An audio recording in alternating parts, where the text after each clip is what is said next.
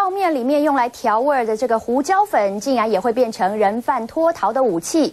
在去年犯下道士强盗案的三名人犯，昨天在借题出庭结束之后，其中一个黄姓人犯居然就拿出了一大包的胡椒粉狂撒，呛得法警鼻涕眼泪直流，想要脱逃，但是最后还是被检察官给抓住。另外一名麦姓嫌犯，他也被查出口袋里面还有更大包的胡椒粉末。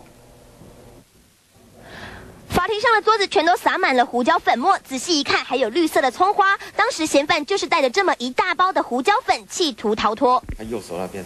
直接就从这边过来，他一用就往前冲了。十八号上午，三名犯下强盗案的人犯在第四法庭开庭结束后，黄姓人犯就突然从上衣口袋拿出胡椒粉狂撒，趁着法庭内粉末飞天，他一脚踩上证人席想逃出，被检察官从后方一把抓住。有两名被告，其中一名被告没有撒胡椒粉的被告，他事实上身上也有带胡椒粉。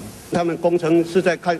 高雄监狱的厕所拿到了胡椒粉，疑似是泡面用的调味料，但估计有数十包的数量，怎么会没发现？法警会给他轻轻的，呃，用拍打的方式搜身，啊，那至于他有可能藏在裤裆呢？三名人犯在去年犯下盗事强盗案，各被判处二十年以上的徒刑。其中黄姓及麦姓人犯有强烈的脱逃动机，但从监狱出来到法院的拘留室，一共两次搜身都没发现。而人犯究竟从哪取得胡椒粉，检方还要调查。